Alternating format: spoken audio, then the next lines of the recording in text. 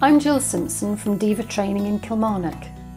We help our clients know where they want to be and how to get there.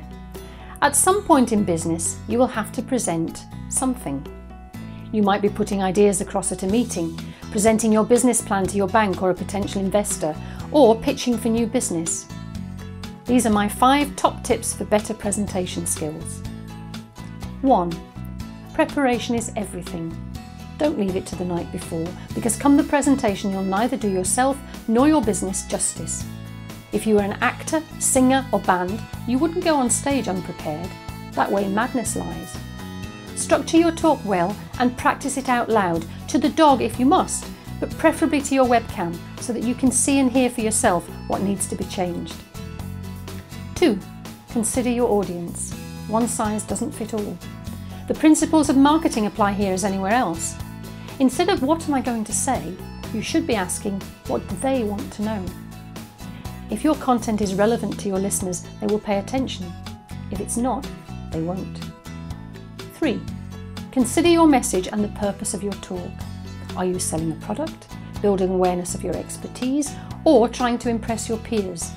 If you aren't clear about the message from the outset, your audience certainly won't be. Present your message from an angle that really interests your audience and remember, don't give too much away. Leave them wanting more. 4. Less really is more. You're the expert and you have a library of knowledge at your fingertips, but the experienced communicator is selective with what she shares. Make every point carry weight with your audience. A memorable five minute talk is worth so much more than 20 minutes of boring detail.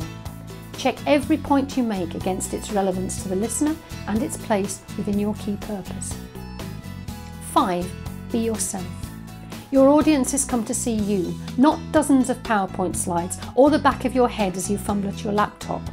Find your voice and your personality as you present material that you know to be engaging and relevant to your audience. You've practiced your presentation. Remember to speak slowly, more slowly than in a normal conversation, and pause to allow the audience to take in what you've said. Remember to smile and share your enthusiasm for your subject. And finally, enjoy yourself. Your audience will appreciate it.